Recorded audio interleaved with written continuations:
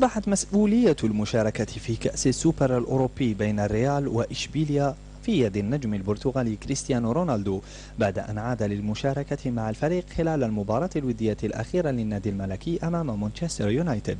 صاروخ ماديرا كان قد تعرض لإصابة في ركبته اليمنى قبل نهاية الموسم الكروي.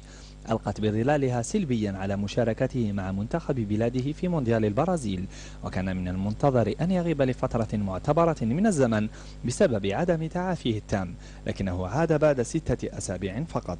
وذكرت صحيفة ماركا الإسبانية أن اللاعب استمع إلى تعليمات الطاقم الطبي لكنه غير قادر على منع نفسه من اللعب. وهو ما ظهر عندما أصر على اللعب أمام مانشستر يونايتد متجاوزا بذلك تصريحات مدرب الريال الإيطالي كارلو أنشيلوتي حيث أنه صرح قبل المباراة أن اللاعب لن يشارك في اللقاء وبالرغم من ذلك لعب ربع ساعة الأخير من زمن المباراة.